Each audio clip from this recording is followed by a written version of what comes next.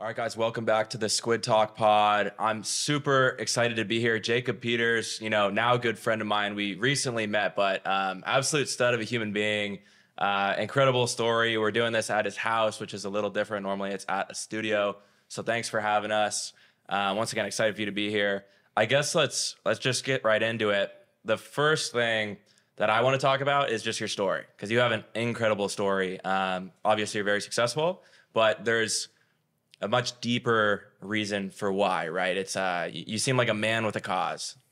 So let's hear it. Lukas, I appreciate it, man. I'm uh, excited for you to be here in LA. You know, the the story starts really with my mom. So, God bless her, she's an incredible woman. Um, but she really had to sacrifice a lot, uh, you know, to to make me the the person I am. So, when I grew up, I didn't really have like you know the same type of experience that a lot of my friends did because dad was in the military, so moved around a lot, and you know he was traveling. He spent a lot of time in South Korea, and we were stuck here in the states with the family. Um, but my mom was unfortunately stuck in bed for a lot of her life. So she had this disease called chronic cluster headaches. Have you heard of it before? I think so. Yeah. It's it's basically like Crazy painful, crazy painful headaches. All the cra- time. crazy painful. It's basically like a rare form of migraine, you know? Yeah. And like literally the, the way they describe the pain is it's like you're sticking like a spear through your eyeball. And before the early 1900s, when people invented morphine, which is like the strongest painkiller, you know, uh, they would just like commit suicide when they had this condition. So it's it's pretty gnarly. Yeah.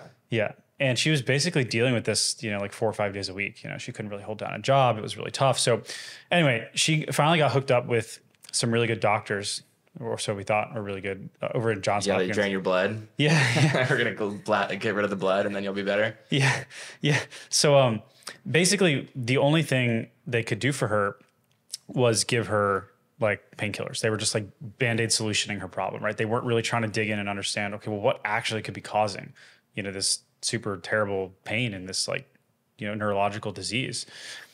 So, anyway, that's, you know, her life basically, right? She has to take these painkillers four or five times a week and it's just like stuck in bed. And I just get curious, you know, as like a teenager. Like this is maybe 15 years ago now. So when I was when I was like 13. And start Googling like what are cluster headaches? How do they work? And I discovered all of these internet forums where people were basically like biohacking their symptoms, right? Like this was, you know, well before the the, the you know the Andrew Huberman era, right? Before like people were even aware of this stuff, right? Yeah. and you know they were like measuring different gene getting a read on different genes like measuring their blood levels for different bodily processes like checking their vitamin levels and you know changing what they were eating and like removing different like toxins from their environment like perfumes which could like dilate blood vessels in your head and i was like wow this is crazy so we started implementing a lot of this with my mom and actually made a lot of progress with her hmm. condition that like her doctors were effectively like woefully you know unaware of or like you know ill-equipped to to be able Yeah. to do so that was sort of like the first like early you know light bulb moment for me when I realized that the healthcare system might not necessarily be on our side. Fast forward, I got into tech, so started a started a, a software company when I was in my early twenties, and Just after college. Did you go to college? I, I went to college. Yeah, I did a few years at University of Virginia okay, nice. down south. Yeah, yeah. Did you feel at place there, or was it like I, I want to be an entrepreneur? I Ab- get out of absolutely not. And you know the weird thing is like I don't I never actually felt like I wanted to be an entrepreneur. Hmm. It was almost like I all all I knew was that like whatever I was doing I did not feel aligned. Yeah. Right. So I, I didn't actually know what my calling was. I just knew that there was like a gross misalignment. And I think that most people ignore this type of feeling, right? Or they're not even aware that they have this type of feeling. Like I'd venture to say like most of us are living in gross misalignment, right? With like what our ultimate mission should be, with what's like most compatible with like, you know, the way our brains work, with what we ultimately should be doing and spending our time, like what's ultimately best for the world. So I think a lot about this idea of just like being in general alignment. So for whatever reason, I, I was deeply unfulfilled, not that happy, and I just was was searching for something. And and you know when I when I discovered the world of tech and the world of entrepreneurship, things started to fall into place. Nice. Were you always kind of a tech whiz, or was that like a very foreign, very new field? Because it's intimidating. Tech is very intimidating, right? It's it's Had you intimidating. always been in the buck since you were a kid, or was it I kind of grew up on the internet. Okay. You know, like, and I mean, it was partly inspired by like all this, you know, researching and these Yeah. like forum rabbit holes I, I found myself in with, with my mom. But yeah, you know, when you just spend a lot of time, you get more and more comfortable with it. And actually, like the the, the tech company I started was not like my first business. The, you know, one of my my early businesses was actually a, uh, like I got into some like dark web stuff with like fake IDs, and you know, I won't go. Too, I won't go too deep into that. Um, I sold alcohol in college yeah, and Viagra. yeah. We all got to do what we got to do to get by. yeah. Gotta do what you gotta that's do. how I funded my my startup. Wow. Well, now I run a company that sells Viagra online. So yeah. Oh, there you go. I hit you up. no, I'm just kidding. Um, so entrepreneur since a very young age. Um, you start and build multiple companies with the software company. Was that a pretty big exit? Like you don't have to say the number, but was that like a quite a sizable check for a what? What were you 24 at that point? Yeah, it, I'm 25. So um, it was kind of you know you know the Drake lyric 25 sitting on 25 mil. Like uh, I used to sing that a lot. I'll, I'll leave Nice. it. I'll leave it really at that. 25 or 25. That's wild. Even anywhere close to that, it's like actually just very. You can't even comprehend that for most people. Like that, that being 60 with that much money is seems awesome, right? It seems very foreign to a lot of people. I'm curious. I'm assuming like there wasn't much downtime, or did you kind of just go on a crazy party spree? I, were you living in LA at that point? I right around that time I had just moved to LA, and it was during the pandemic, so there, there wasn't even any Oh, parties. so you don't even get to use it. There's no parties. That's Um, crazy. But then we did something even crazier. Um, so this was my next business. Yeah. after the software company. It was called Launch House. Mm-hmm. And the idea there was let's create a incubator and community for other entrepreneurs. Because when I was building my first my first business, the, the tech platform, it was like super lonely. Yeah. I You know, I I um I I, I you know like didn't really have any like other entrepreneur friends right it was just me and my business partner and we were actually interestingly enough we decided to be like a fully remote and distributed company like well before the pandemic we started this a few years before so you know we didn't really have like in-person community there was no office the company was distributed. Like my my form of community was my zoom you know chat with the team and slack. And it just it, it just I, I never really felt like you know fulfilled. And like I had the same sense of you know camaraderie and and community. So um, you know after going through that journey, although you know I, I had like a, a great personal outcome, I wanted so much more. So and I and I would basically never wanted another entrepreneur to have to like build you know a company in the same way I did, where like they didn't feel like you know they had other people to turn to because building something really really big and impactful it's it's it's really freaking hard like Yeah. really really really really hard you basically get punched in the face you know day in and day out and like that's your job description Can you can you explain that a little? Because I mean, one of my whole goals with the Squid Talk podcast is to like obviously touch on incredible success success stories, but there's two parts to it. Like number one, it's inspiring anybody out there to go and start a business of their own. Anyone who's been intimidated by it, maybe give them like that that initial push they need to get out there and start, but also like kind of shed a light on how tough it is, right? So can you explain like exactly what does it take?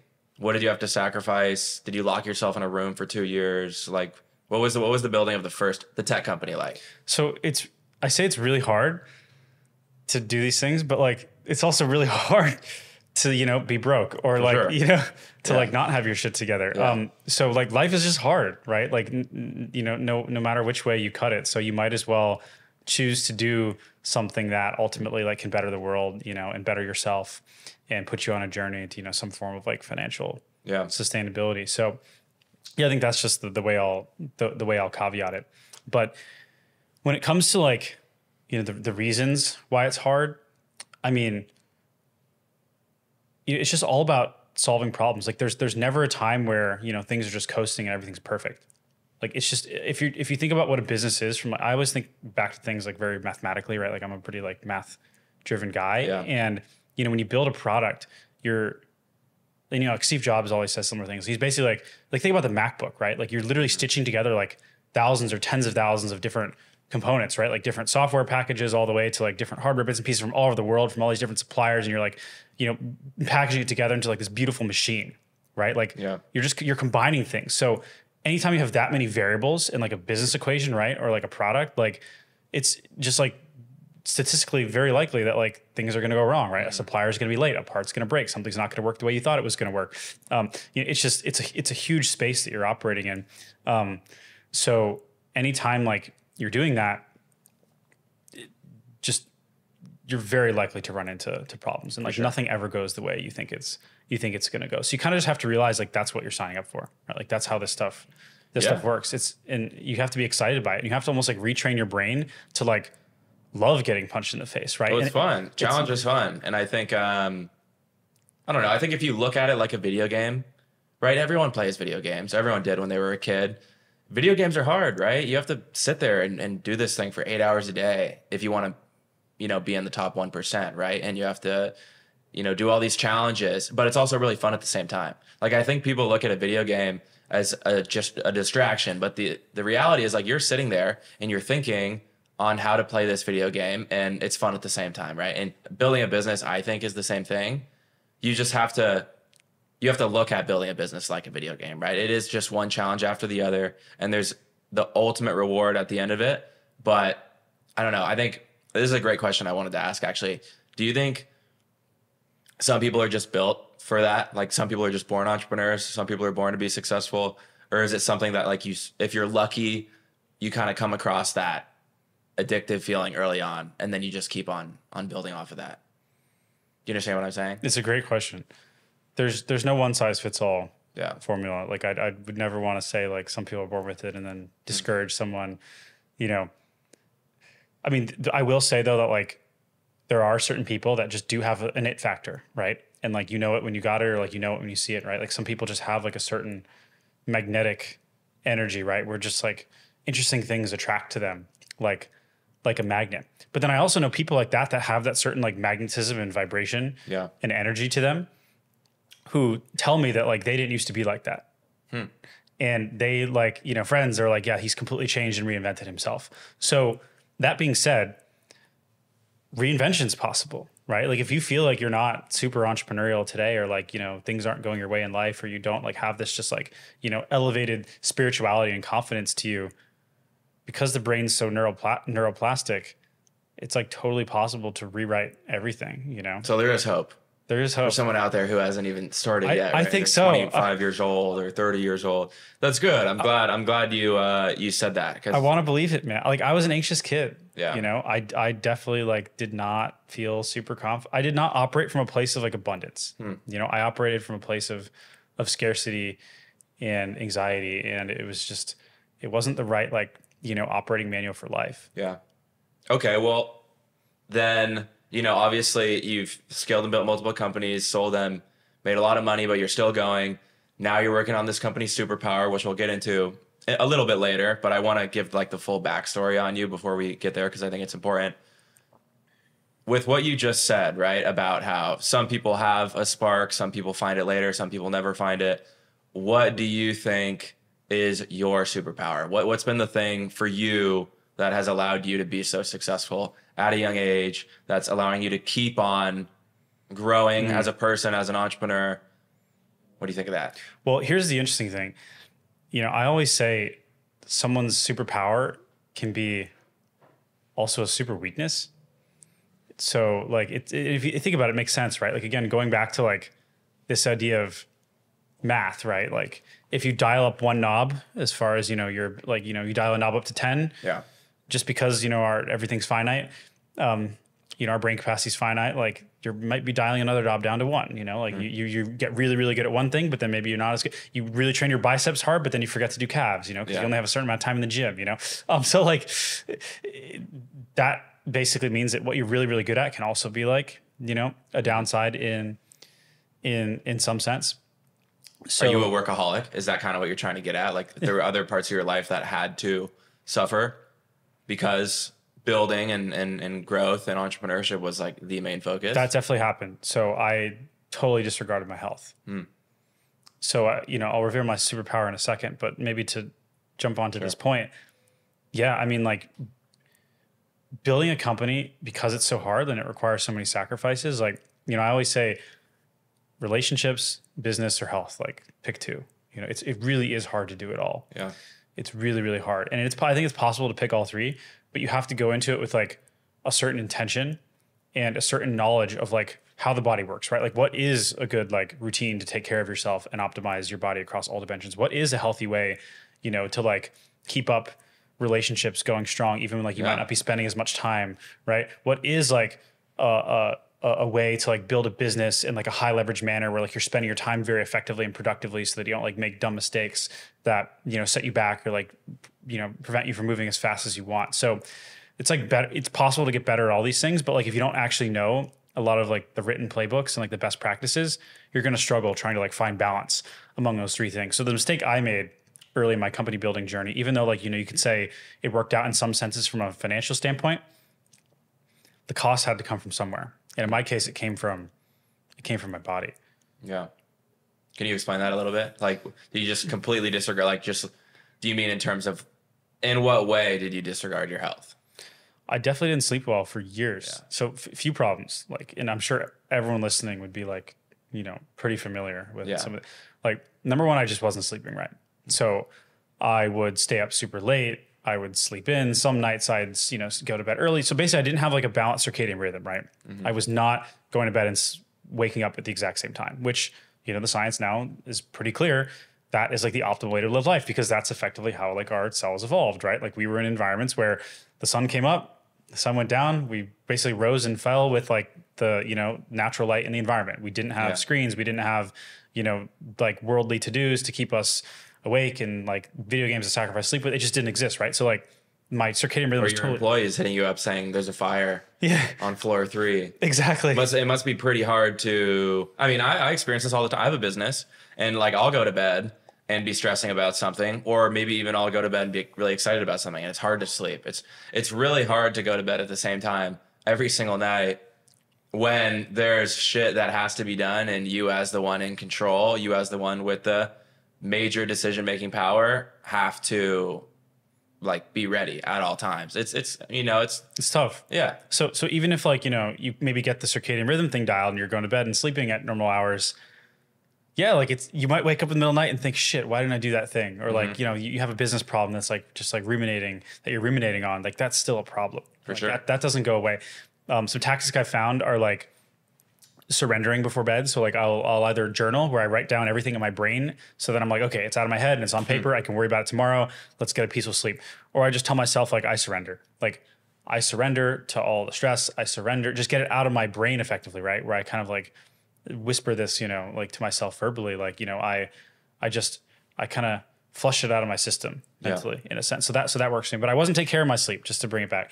Um, and I was like working up till the second I went to sleep. So like if you use blue light, you know, from your screens before bed, again, all this stuff is like so crystal clear, base reality, like provable empirical facts, right? It's been well researched, well studied. There's a lot of analyses on stuff. Like it totally fucks your sleep. So I was doing that. I was also like eating right before bed. Sometimes I'd even work out before bed, thinking I was healthy, but apparently that raises your heart rate tremendously, which like makes you have a lot less restful of a sleep. Um, so I was doing all the wrong things and I had no idea, right? So so that was like one big big problem. The second big problem is I my, did not listen to my body. My body was telling me something and I totally ignored it. So I had like some really weird like gut symptoms, hmm. right? Like I'd eat eggs in the morning and next thing I know, like I'd get this like brain fog. Have you ever felt brain fog before? You know what I'm talking about? Yeah, but I never. I guess I never. It's hard to know when it's brain fog versus being tired or. Yeah, but I, I know what you mean. So that's the thing. Like, it, most of us just have like no idea what like the state of our body is or like what our body's trying to tell us. Yeah. So I've gotten really into this concept called interoceptive awareness, which means basically being hyper aware and like in tune with the state of your body and the signals that your body is is telling you and what that means. So like if you have brain fog as an example, um, usually it's actually inflammation driven. It's literally like the brain slightly inflamed, which means like you know your immune system's uh, you know reacting, um, and it's because of like something you ate or like because of like the status of your gut. So like um, sometimes food can basically like if your gut isn't very healthy and very strong, like your you want your gut wall like that protects your stomach from the rest of your body to be strong. If it's not Yeah. that strong and it's kind of weak, like literally like particles and bacteria and food and stuff can like literally leak from your stomach into the rest of your bloodstream, and then that like finds its way to the brain and inflammation. So you're saying that if I drink Diet Coke and I eat Cheetos and cake all day, it's going to affect everything else in my life. Unequivocally. There you go. you guys heard it. I, I think that's what's crazy. What like a lot of people don't understand is, and it's a lot easier said than done, but like obviously your health comes first, right? Your your mental health is directly correlated to your physical health, right? So people who have depression or are anxious or feel foggy, like you said, or are just like simply feeling like they're not doing as much as they can to get ahead in life. Would you not agree that the first thing you should do, or at least one of the first things you can do, is, is figure out your physical health? Right. Completely. I, you know, my hot take is the mental health industry is kind of a scam Yeah. in the sense that most mental challenges or like, you know, feelings of anxiety, depression, laziness, fatigue, this, that, like whatever, you know, lack of inspiration, it's actually downstream of like an upstream biological problem. Yeah. Right. Like if you're not sleeping well, you know, you're probably going to be in a more inflamed state, Watching which is like porn all the time, something exactly like that. all these things like you know i cut out all that stuff and Yeah. like you feel infinitely better um so we'll get into this in a sec but like you know uh because i run this health company now you Uh-huh. know we, we we test a lot of things in people's blood that traditional doctors don't normally test and um you know if you're like watching a lot of porn and you know it actually changes some of your blood chemistry wow. And we see that um but we'll I'll, I'll I, I won't tease too much We'll Okay, cool. into it Yeah, I, yeah. definitely want to get into superpower because I think that's super fascinating. And like me personally, as an entrepreneur, as someone that's trying to be optimal in all areas of my life, that that that fascinates me a lot. But before we go there, let's talk about Launch House real quick because that that's kind of like what you got known for in a lot of ways, right? Obviously, you were very successful already, but that's how you became known in like the social media space, right? So, can you explain what Launch House was and like, you know, I guess we'll start there. Yeah. I mean, it was basically a, I mean, this connects back to like why I moved to LA. It was like a, a crazy pandemic era idea. So it was early days of the pandemic and, you know, everyone was stuck in like their, you know, parents' houses or, you know, i- in their apartments and like couldn't really leave, socialize. It just, the, the world was locked down. Right? Like we all remember it. Yeah, it kind of sucked. So I was like, let's make this not suck. And um, there were people who, you know, were basically making it not suck on social media. Like you, you had, um, you know, Jake Paul with like his, you know, Team 10, like there's the Hype House. Like there was all these like influencers basically Yeah. getting these, you know, content mansions in Beverly Hills and like the LA area and putting a bunch of, you know, creators in a house in one space and going viral on social media, right? All sharing best practices, posting one another, like, you know, making Yeah. money. Like it was a thing. Everyone's everyone's cooped up, and you have nothing to do but consume. You pre- produce or consume. So you put all these. it- it- what you did was different because most people put creators together for entertainment. You put. I don't want to say creators aren't smart, but you put a lot of really smart, really driven, really ambitious. we put in fucking nerds in a house. Yeah, and you said Basically. like, Oh. but you put nerds in a house, and you gave them an opportunity to have a lot of fun. And also a lot of resources at hand, right? Because I'm sure there were a lot of investors, people that were like, "This is a great idea. Let's give you money." So, like, so basically, I was trying to give other entrepreneurs the community that I never had Yeah, when I was building my business, right? So we um we got a mansion in Beverly Hills. We rented Paris Hilton's old estate.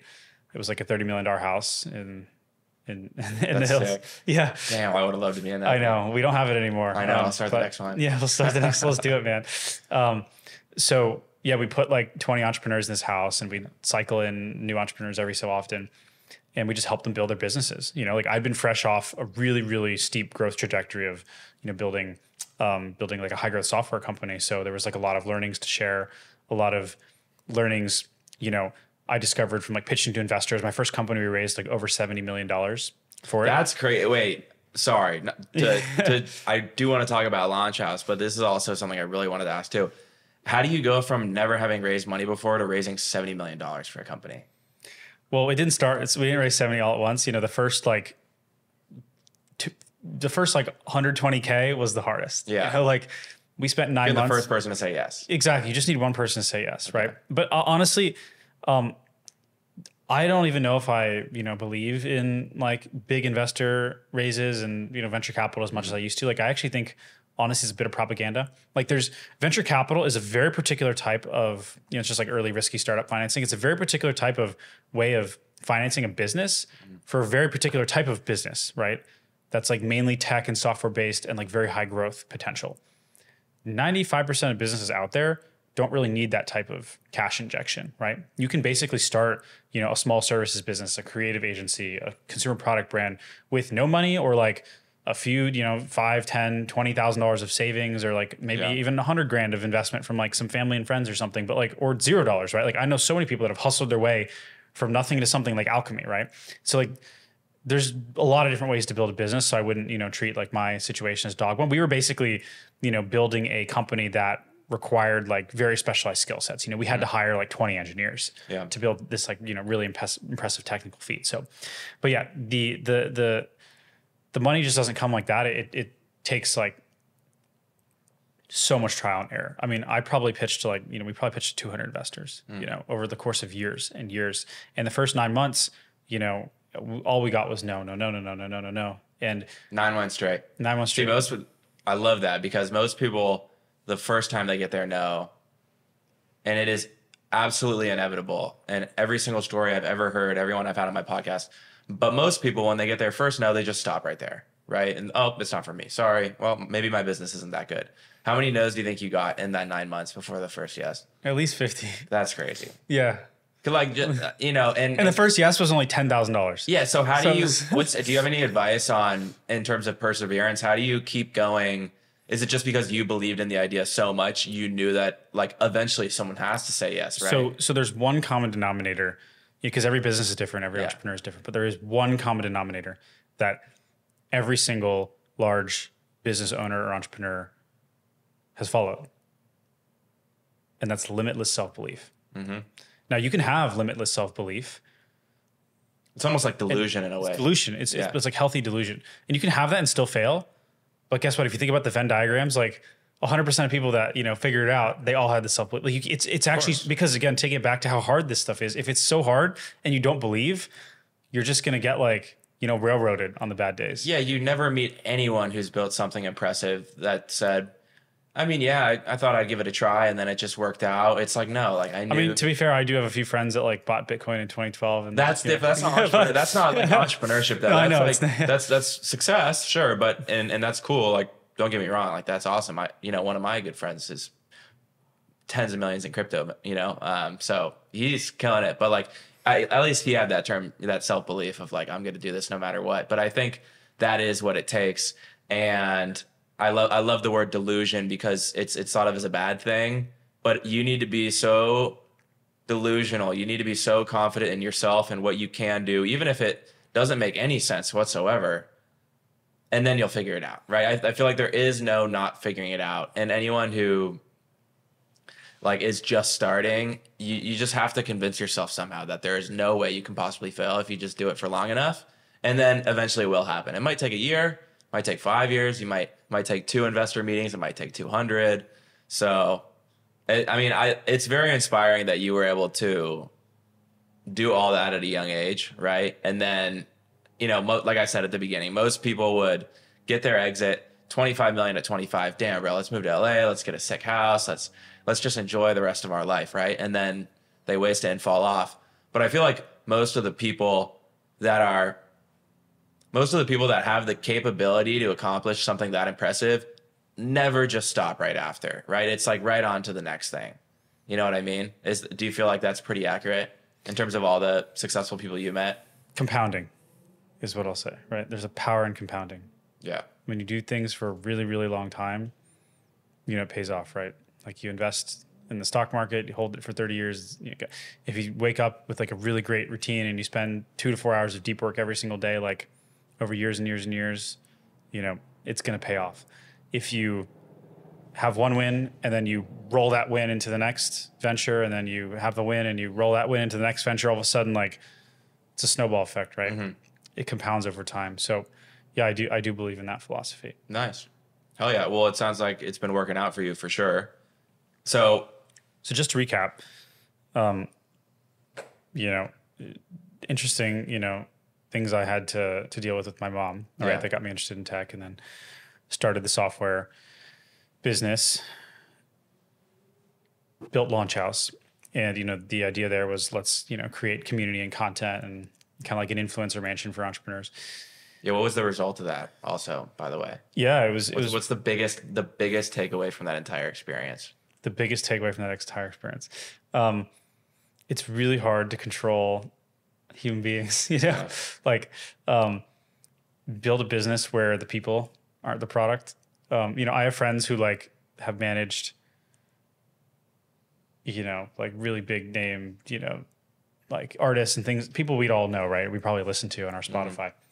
And they're like, you know, it was really inspiring, like building what we did and building these personal brands, but it was also really freaking hard, you know, because like people are the products, right? So I think, um, you know, in our case, community was the product, which made it really, really challenging. So, um, you know, although we had a lot of successes and we like, you know, we invested in 50 different companies that came through the community and like helped a few thousand founders get their companies off the ground. Two thousand. few thousand, yeah, That's total, crazy. yeah, over Wow. over two years. Um, I will say my big overarching lesson is, uh, yeah, being in the people business is, is is is is not something I want to be in for the rest of my life. That's fair. Was it kind of like being an agent in a way, but on just a massive scale And and that's the and thing. in a different industry? yeah, exactly. And like you know, we didn't scale. Right, was the problem. You Yeah. know, like there was only one of me and so many people asking for my time that it was it was overwhelming. And I'm assuming you were getting equity in all these companies that you were helping. Yeah, we would invest. Yeah, exactly. Yeah, because why, in why would you connect Yeah. everyone and help out if there's nothing in return? Okay, well, well, was was Launch House a success or a failure in the end? Uh, you know, I think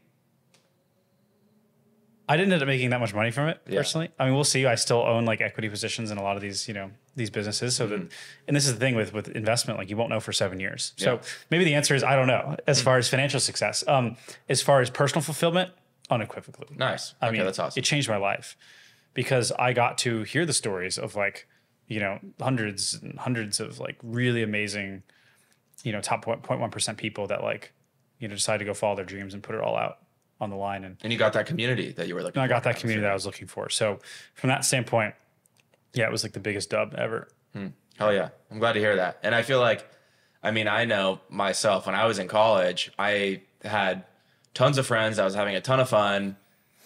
On paper, great, right? But I felt extremely lonely and isolated because I was literally the only person that was starting a business. I was the only person on social media. And now, because of social media, I've been able to meet a lot of awesome people like yourself, like the guy who connected us, right? Everyone.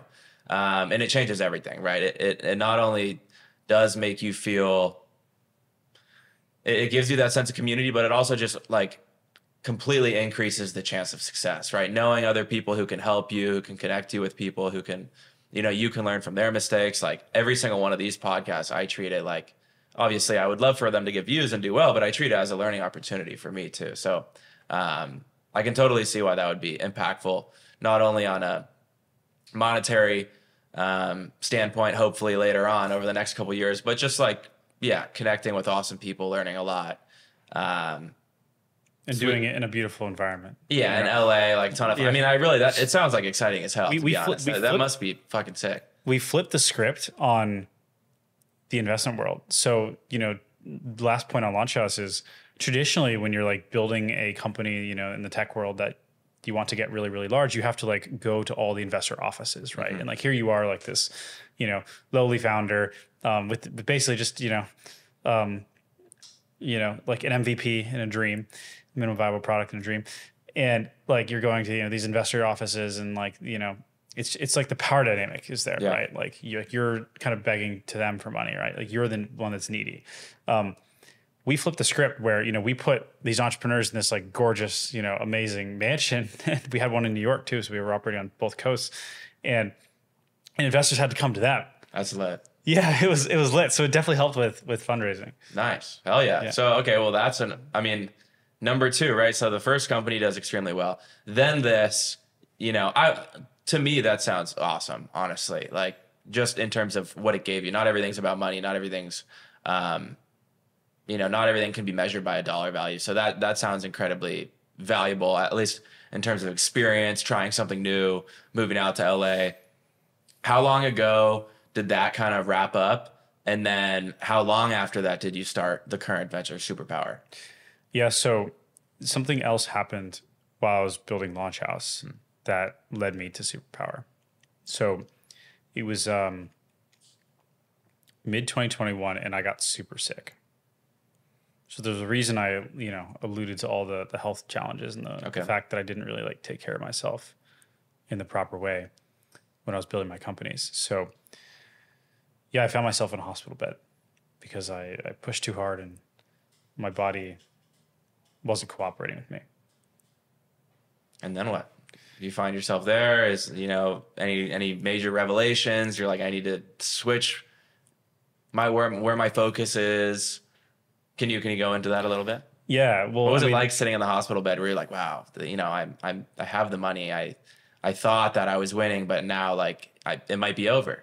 I mean, how serious was it? It was it was pretty serious. Yeah. So basically, um, you know, it was kind of like a confluence of factors, right? Like I definitely was not taking care of myself in the right way. Number one, Mm-hmm. you know, making this like, you know, what I thought was like an, a good intentional sacrifice, but giving up sleep to push the business forward, but probably not the right decision in retrospect. Um, you know, and then I had these like weird like gut issues that I was talking about that I couldn't really put my finger on at the time. Because again, I lacked that like, you know, being in tuneness with my body and that interoceptive awareness. And then, um, you know, I do the thing that everyone else was doing at the time, like I get the COVID vaccine. And, you know, being in LA, like, you know, um, everyone was getting it and it was just the thing to do. And um, basically within, you know, a few hours of getting it, I was like, something's wrong because I just didn't feel right. And they were like, you know, you, you get some symptoms, but I was like, no, like something like is really, really wrong. Um, and I ended up that night um, having to call the ambulance because uh, it felt like I had drank six cups of coffee. So my heart was like Jesus. beating like out of its chest, basically. And I don't drink caffeine. We were talking about this earlier. Like, you know, what he was Lukas was like, What's your morning routine? I'm like, I don't drink coffee, just vibes, you know? So like I I don't know what that's like, you know. And um, but it felt like I was like, oh shoot, like something's something's wrong here, you know. Have you ever taken like a caffeine pill or something, like way too much caffeine? You're like a horny go go. Yeah. You heard of that? No. It's like this pill you get at a gas station. It's like Viagra plus like like a BlueChew. plus a full Celsius. Like Yeah. yeah. So you, you get the COVID vaccine, Yeah. and then immediately you're like immediately you're like something is not right, right? You get taken to the hospital, ambulance, and then they diagnosed me with this thing called myocarditis, Hmm. Which is inflammation of like the lining and the muscle of your heart. So, you know, we don't really know like exactly like, you know, what kind of like causes this. It's I think the science is still kind of being figured out. Um, you know, I'm not saying like all vaccines are bad, but like, you know, there were definitely some challenges with the way that, you know, these things were were rolled out. Like I, I found out after the fact that, you know, from from some folks that are kind of insiders in the industry that apparently just because of the way the, the, the these things were rushed, the quality control led to some vats and batches having like thousand x the amount of you know uh, potency versus others. It was basically just like saline water, right? Like you weren't even getting real vaccine. So who knows what I got? You know, who kn- I could have had some like I basically think I had some like weird you know autoimmune, which is like when your immune system's all overactive and messed up, you know, process going on in my body beforehand. But there was no like warning around if you have these like you know pre-existing issues. You shouldn't be a candidate for this. It just didn't really exist. It was very early on in the pandemic, and like we didn't really know. it was just rushed. They were trying just to rushed. get something out, and I think I think public. I think public perception played a big role in that. So many people were like, "We need it now, now, now." So it makes sense. Yeah, so I, you know, I um, I find myself in the hospital bed dealing with the heart issues, and then, um, while I'm there, my like stomach starts flaring up. So like, um, I had all these like s- stomach issues, and they're like, you now have Crohn's disease. Have you heard of this? Jesus, no. Like, What's that? it's basically um a, a condition where like your immune system starts attacking your stomach, Uh-huh. and like it's obviously a major organ, right? Like it's literally how we eat. You know, whether you're eating healthy or eating the Cheetos, like it's how your body, you know, breaks down the food chemicals and turns into energy. And like that was basically all like inflamed and like bleeding on the inside for me. So And Um, you could feel that. You're laying there thinking, like, did you think at any point did you think like this is the end, or were you just like, God, I hope I make it through this? not like, at first, but like, you know, after being there for two months, yeah, and you lose forty Jesus. pounds, and like, you know, it, it was just miserable. Yeah. So I'm like ailing, you know, for months in this hospital bed, and they like can't figure out how to get the inflammation storm under control. They tried all these different like prescription drugs and like these things called biologics with like which like, you know, uh, kind of like dampen your immune system, but nothing really worked. So I ended up becoming a bit of a price tag to the hospital. Hmm. And what I mean by that is um, they made over $2 million Off you? on my situation. That is fucking crazy. like that's a full seed round, you know, for a startup. Right. So let's summarize that. COVID vaccine ends up leading to some complications, which is a, at the end of this, you know, two, three months in the hospital is a $2 million bill. $2 million bill. That's fucking crazy. And the reason for that is because they actually decided to perform surgery Yeah. Um, to take out like part of my stomach. So they like removed like basically my entire colon, which is like, you know, the bottom part of your Yeah. It's stomach. important. It's Need important. that. Well, apparently you don't because here I am. Oh, you know. okay. But um but yeah, it was it was gnarly. So they and you know the, the reason they, they they they do all this stuff like hospitals they make a lot of money through Yeah. surgery, right? Like versus the alternative. So only later on down the line did I realize that there's a different philosophy of medicine, which is basically closer to like what I was doing with my mom early on in life, where you actually get to the root of what a problem is mm-hmm. instead of just band-aid solutions, right? And not only that, but you you look at the body holistically across everything that you're doing, all of your inputs, all of your environmental triggers and stressors and all the things that are happening to you, right? In this case, they were only looking at like my inflammation levels and like my gut. They weren't ask they weren't trying to figure out, hey, like, you know, how stressed out are you? Like what is the state of your nervous system? How's your headspace doing, right? Are you in like a positive mental attitude mindset? What are you eating? Like what are your nutrient stores? You know, is your body very nourished across like every dimension, every type of nutrient? It's crazy that that's not something that's implemented in It's the so in crazy. the in the health industry. It's it's wild. I mean, yeah, we were talking about this before. Like for anyone watching or listening, my dad's a doctor, um, and he pretty much told me two out of three doctors should not be there, right? And I think, I think the perception of the word doctor, the word hospital, um, the, the word surgery, like the perception is Is trust, but is complete trust. This person knows what they're doing, right? Or this system knows how to fix me, right? In reality, it's just a couple of people who studied a couple years longer than you. And I don't want to like, I don't want to, you know, get rid of the importance of of the healthcare industry, and they will save your life in many many circumstances, but they're they're not perfect, right? Well, so so the, the you know I have a tremendous amount of respect for the medical profession. Yeah. Like, I work with doctors all day now. You know, with my new with my new business, and um, you know it's it's very respectful for anyone that wants to dedicate their life to to serving humanity and you know furthering medicine and practicing medicine.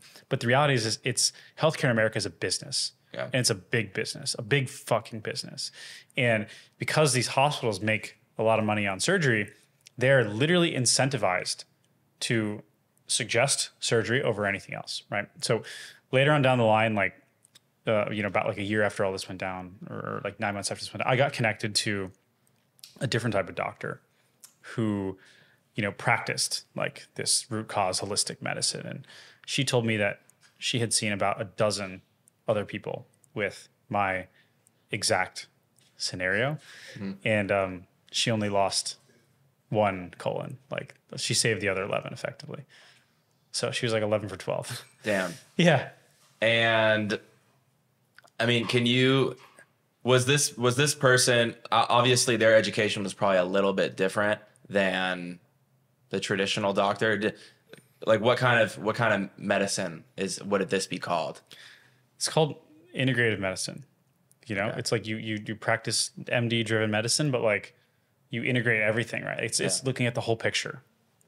Right. Jeez. So so it's you know integrative longevity, like personalized medicine, effectively, right? Which is preventative medicine. You know, whatever name you wanna you wanna put on it, but that's like how things really really should be. And like you know, she had a protocol for this type of stuff. She's like, here's what we would have done. We would have given you 40 sessions of hyperbaric oxygen, which hyperoxygenate your cells for healing. We would have given you like this stack of supplements and peptides. We would have balanced these nutrients. We would have done this blood test to see if we could figure out what's actually going on. We would have given you these probiotics and these like you know antimicrobials to fix the bad bacteria ratios in your colon.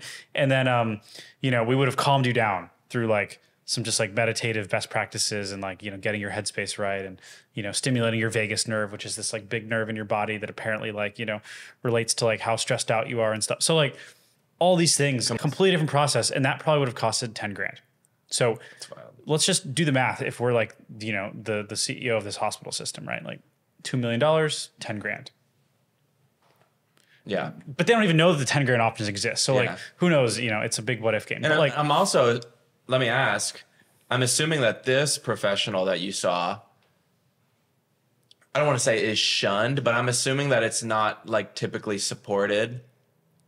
Like if you were to ask the people at the hospital, what do you think of these practices? They would probably be like, yeah, I just wouldn't trust it those." wouldn't. It, it's she's a, she's a black sheep, you know. Yeah. And the reason is there's just a lot of structural and incentive, you know, problems in the healthcare space, right? And it's and it's honestly no fault of the doctors, no fault of the servant sure. surgeons. Like these people are at the top of their craft. I mean, maybe to your dad's point, like. You know, I'm not going to sit here and disparage, you know, a big group of doctors, but like, you know, the reality is like, if you went to med school, you know, 40, 50 years ago, and like you haven't been keeping up to the science with the science and, you know, things have moved so fast, like you're going to learn more from a podcast episode than talking to one of those doctors probably for seven Yeah. minutes, right? So like, um, there are some challenges, but like I'd say by and large, like most doctors are are, are exceptional um, and great. They're just like hamstrung by a system that isn't giving them the tools on the cutting edge or on the frontier that they need in order to like, Yeah. you know, help people the way that like I needed to have been helped. It totally makes sense. I mean, yeah, if you're if you're just absolutely printing money as a system and new tech comes I mean, I don't even know if you would call it new tech, but let's just call it new tech comes along, right? Innovative It- care models. yeah, right. Cancer, you know, cancer patients rack up millions of dollars in bills, um, and and their very shitty experience of uh, you know having cancer. Right. If a solution comes along that's cheap and it's easy and it's you know much more effective, they might not even they might not even implement it because it's it's just going to disrupt. Well, here's the problem. So let's take that cancer example, Yeah. right? And I hope this isn't like too, you know, in the weeds of how all this healthcare stuff works, because I know Yeah. it can get complicated if you're not, you know, that familiar with the space. But um, again, it all comes down to incentives. So, you know, when you get cancer, you're given, you know, like all these different chemo, or you're given like you have a disease, you're given pharmaceutical drugs, right? And those are the solutions. And guess what? Why did those drugs exist? They became a thing because someone had to fund them, right? Because someone could make money. So there's like an incentive problem there where like you're only going to, you know, have solutions for things that basically can be like patentable, that, you know, can be monetized. But how the heck do you monetize an exercise routine? If like exercise plus getting sunlight plus, and this is maybe, you know, too like, like, um, you know, reductionist of an answer, but like, but just say hypothetically that a certain type of cancer, a certain type of disease was cured by diet, by exercise, Grounding, by some ground, you know, yeah. like by this fixing these certain nutrient deficiencies, by like, you know, improving your sleep, by doing all, like say like 15 different, a stack of 15 different lifestyle factors and food factors and all these things, um, and different nutrients or like, how that's not patentable, Yeah. right? So like, there's basically no incentive for someone to really like wrap that, you know, in a package, and um, so th- th- that's just like one example, right? Like, like no academic is going to be able to, you know, turn that into like, a, I mean, maybe you could commercialize something like that, right? But then, um, yeah, it's, it's it's just we're far away from that world, right? sure. We, we're, I think we're going to get there, but it's going to take a decade, Yeah. if not if not more. and a lot of new stuff like what you're working on. So that's I feel like that's a great way to kind of transition into that. So you know you go through this terrible experience, and then you're introduced to a new route. You're like, wait a minute, that was completely unnecessary, right? And um, and there is a solution that no one, or a lot of people at least, didn't even know about, including yourself. Then, am, am I right that you just completely are like, all right, you have this big change of heart, and you're like, I want to get into health now, right? That's a big switch, a big switch from tech and then um, social media business in LA to now health industry. But it was like a calling, or Healthcare needs new heroes. yeah, right? And let's just think about your average health experience. You know, you go to the doctor, it's kind of shitty, it's a shitty waiting room, you have to like physically go there, right? Like, um, again, because of the incentives in the system, your doctor might not be that knowledgeable, right? They can't even like recommend you supplements because it's not part of the protocol. Because again, these companies, you know, they can't make money off it, so there's no like pharmaceutical that, like, you know, it's just kind of terrible, you know, and it's less than ideal. And like, God bless modern medicine, it does save lives, right? Like, you get in a car crash and um, you know, my brother was recently in an accident. Like the, they they got him all figured out in the ER. Like the, that, you know, there are certain aspects to like you know modern medicine that I'm just like, yeah, you know, God bless. You know, Yeah. like this stuff exists, and like we all probably wouldn't be here, right? Um, like I don't know how many moms used to die, you know, in childbirth or you know, children used to not make it past age four. Like there's a certain like, you know, reverence that you have to pay. But the reality is there's just like certain incentives that are that are broken and um yeah, new heroes are needed. So I never want another human being to have to go through, you know, much in the same way I was thinking like no entrepreneur should have to build a company with that community. No person should ever have to go through the health challenges that that I went through or deal with anything, you know, even remotely remotely similar. And because like, you know, healthcare experiences are less than ideal, is there a unique way basically to blend the pieces of the background that I just sort of accidentally fell into throughout life on this journey in order to create something completely new in this world, in this space, this health space that no one's ever seen. So take, you know, the idea of building community and brands and, you know, talking to people in a certain way on social media with how to build, you know, really big, scalable, powerful tech and software, and then combine that with the brains of these frontier doctors that I ended up working with, you know, to kind of heal myself on the back half, like I talked about, right? Where they like look at you holistically and they figure out the root cause of what's actually wrong. And if you combine all those things together, that's what birthed superpower. Hmm. So the idea with what we're building is we're creating basically the doctor's clinic of the future.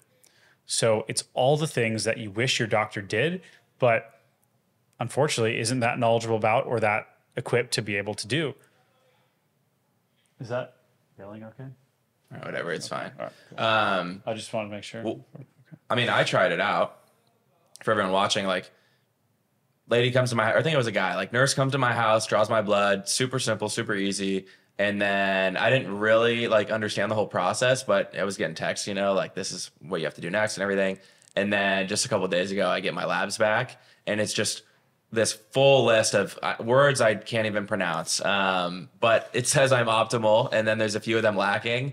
And uh, and you click on the ones that you're lacking in or suboptimal, your low values. Like obviously, I understand test and everything, um, but like amino amino threes, right? You click on Omega it, threes. omega threes, right? See, I, I'm it's compli- it stuff's right? complicated, But this, right? but Like- see, the thing is, I don't understand that. Majority of people don't understand that. It's it's intimidating. Um, in my experience, you know, having tried it out now, is you guys have a very simple and easy way of making it less intimidating, right? So So when you go to a traditional physical, they test like 14 things. yeah, It's kind of a joke. And really all that they're measuring for is do you have diabetes, which is like, you know, the number one killer and, you know, or like it's one of the biggest diseases and costliest diseases in, in, in the world. Um, or like, are you at acute risk of death or like heart attack or stroke? Which like is important, right? But like the reality is for most people, that's not. Otherwise, they're just like, yeah, you're good. Cool. See ya. And that's what happened to me. My entire scenario could have genuinely been 100% prevented. Yeah, connecting the dots looking backwards which you know is always easier said than done but like i confidently believe that there was like two tests that measured my inflammation levels um, and like some things in my gut that are like super cheap. It's like 14 bucks that would have told me and given me this indicator and like explained some of my symptoms like hey something's grossly off here.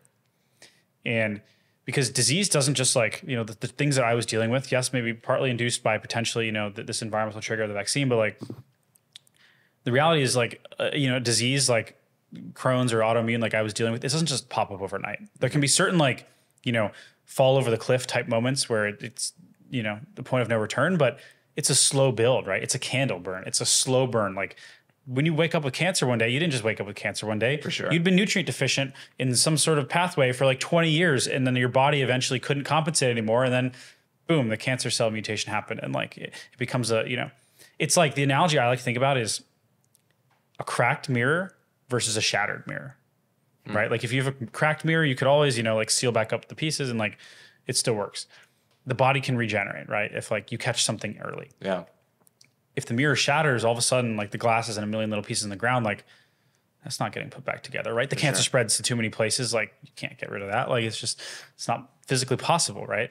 Um, so it's the same thing with the body. And because like your traditional primary care physical, which is again, just by the protocol, it's what your insurance is going to cover, tests so little, we're all just like completely in the dark to like what's actually happening Yeah. in our body. So I'm like really, you know, it was really exciting to see your results come in and Uh, yeah, I mean, you get I- this intelligence. I, I, I've always felt like pretty good, right? Um, but it definitely also made me feel um, a lot better knowing that I that was optimal on a lot of my levels. Um, so thank you for explaining that, by the way, because I think that's awesome. I mean, I'm really excited about this. Um, it's also very affordable. I don't know how you make it so cheap, honestly, but that's awesome. I don't know if it'll stay that way. I hope. Um, It's the power of software, man. Hell yeah. Well, now I, I kind of want to get into, um, you know, just some some questions about you as an entrepreneur. Obviously, once again, extremely successful. You're 28, right? I just turned 29. Just turned 29. Yeah. Happy birthday, by the way. Um, but I think you know, having built and sold multiple companies, having um, you know, kind of been around the block, you could say. I know a lot of the people that tune into this podcast are on the younger side, right? Maybe anywhere from 18 to 26.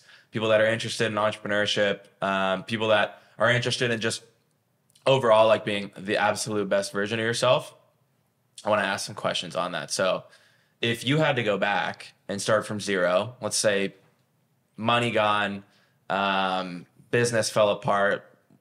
For the sake of the argument, let's just say like the economy absolutely cla- uh, crashed and everything got taken away from you. You're back at zero. What would you do? I'd do things that other people aren't doing. You know, I'd look around in my school, I'd look around in my classes, I'd look around at my friends, I'd look around at my peers and my community, and I'd say like, what is everybody not doing?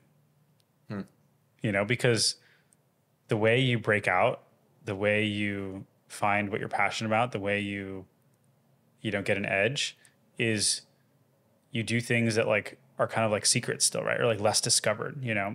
Um, this health stuff, like now it's starting to come out, you know, but we've been building this business for about a year, so I still think we're a bit early, but like, um, and we definitely are a bit, bit early, but I think in a decade, you know, it's going to be commonplace for everyone to get, you know, these types of tests done, for everyone to have like full body intelligence all the time, for everyone to be like much more health literate. But today, like that's still a challenge and it's still a problem. So like, you know, I'm doing something that like the world maybe is like just starting to wake up to, right? So I'm kind of doing things that other people aren't doing Yeah. even like you know thinking back to you know like when i was a kid like what all my other friends they were just playing video games and you know hanging out with friends and you know fucking around and doing stupid shit and like i was just like researching forums and like reading things and building Trying to these- learn. build- exactly building these big Yeah. spreadsheets of like and you know of like different things i wanted to experiment with with my mom and like things i wanted to learn about supplements and like you know i was buying supplements on amazon and from going to vitamin shop and like learning how all the different compounds work so like i've been building up this health body of knowledge for years and years and years and years Hmm.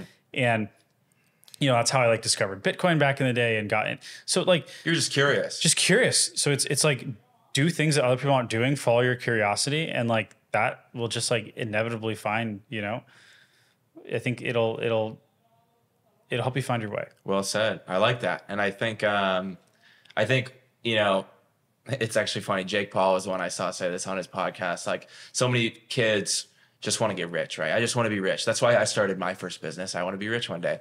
But the thrill of money quickly fades, and the excitement of just building something is what is what then comes. money's an ego driver right Yeah. like um i think the best people are, are aligned right Yeah. where like you're not just doing it for the ego and for the money like you're you're you're more calibrated and you're doing it because you love it or you know you're doing it because the world needs it Yep. and like i genuinely mean that. And i say this from you know a place of having like the have the privilege of building multiple businesses. And my first two admittedly the first business totally admittedly like you know on the record i'll say like i was more driven by like ego and like i want to build a business for a business's sake and i didn't really know why i was doing it right? The second business um you know I, I, I didn't know if I, ha- I had a purpose, right? But and I was like, okay, I want to help these entrepreneurs, but I also like I didn't really honestly internalize the purpose. I was more maybe something I just said, to be honest with you, right? Um, because I was maybe like trying to figure out the purpose yeah. versus like the third business, right? Like this is, you know, something I genuinely want to spend like decades of my life doing. Mm-hmm. I have never felt such a genuine, complete, and utter alignment where the foundation of the business and the story and the mission behind it and the reasoning behind it was built on like literally something that almost killed me.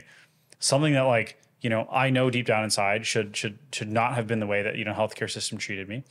And I also know like what the better side of medicine looks like, right? With like these doctors that I met who were like on the frontier, you know, and I just feel like incredibly aligned. Like I, I'm, I know the mission I'm on. I'm building. I'm not just building a company. I'm fulfilling a mission, Yeah. right? And, and and I'm passionate about it, a right? huge problem. Huge And- problem. And, and you're already. I mean, I was gonna say if you do it, there will be a, a huge reward, but you already are. Um, but I think, yeah, I, I think that's the reward perfect. is seeing you know friends like you be like wow like i now understand myself so Yeah. much deeper and like this has changed the lens through which i'm going to look at health throughout the rest of my life right and i won't put words in your mouth but you know that's kind of you know the Oh, dude, 100. percent I mean, I, I, at this point in my life, and I like how you touched on this earlier. You know, trying to be um, optimized and also trying to have balance at the same time. It's hard to, it's hard to excel in everything, right? Relationships, um, have a good time, be healthy and fit, have your business very successful. You, it's just really hard to balance all those. So at this point in my life, my priority is just like how can I be as good as possible at a lot of different things, um, and not ignore my health, right? So um, it, it's it's going well so far, uh, but who knows? I think I'm sure it'll get more stressful as um, as my business continues to grow. And you guys heard him say it, right? Don't do what everybody else is doing. Don't go start a clothing brand, right? I don't need any more competitors right now, honestly. But um, Sweet, that's great. I think um, I think the best question to finish it off with, because this has been super insightful for me, and once again, thank you for having me here. I like to ask this question to all of my guests I have on the podcast. What's one thing you hold to be true that almost everyone else would certainly disagree with? Hmm. well this might not be a common disagreement but i think in the future it's going to flip-flop and everyone's going to agree with it because again it's all about being early and doing Yeah. things that other but i genuinely think we're all getting poisoned hmm. Not to end on like a dark note but like Yeah. like seriously sick is the new normal. And like the food we're eating is is is really not that great for us. It's devoid of nutrients. And like the average person uses like hundreds of personal care products a day that all have like different chemicals in them that are like affecting you know our hormones in our bodies. And like you know we see this in all the tests that we run with the you know like people are are sicker than they realize. Yeah. and you know like we all walk around feeling a little tired something's wrong. So like I, I just see it you know i see it on people's faces i see it on friends faces I, I i we see it in the data and um i just don't think people realize like you know how suboptimal they are because they never felt like what it feels like to be the most amazing, you know, vibrant version of of themselves. And again, that's why I'm on this mission, right? Like I cuz I see this super clearly and I don't want it to be that way and it shouldn't be that way. And like humanity deserves better. We all deserve better. You know, we all deserve to feel our best and you know, you can only go out in the world and like build amazing companies or push the world forward if your foundation is solid and like you're the healthiest, you know, happiest, most content and inspired version of yourself. So that's that's what we're working towards. Hell yeah. Well, dude, I love that. And I admire you and I applaud you and I um it's already going really well, but I know it's gonna I know it's gonna not even not even slowly, but like quickly start to take over. So I appreciate what you're doing. Um and I appreciate you giving me a test for free. appreciate- So yeah. thanks for uh, thanks for coming on, man. And Jacob Peters, superpower, check out his stuff. Um absolutely incredible individual. Thanks for having me over, man. Cool. Appreciate you.